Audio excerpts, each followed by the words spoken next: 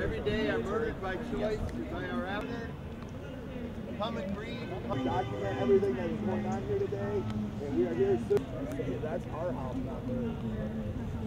Your militia, do you think they have a bad reputation?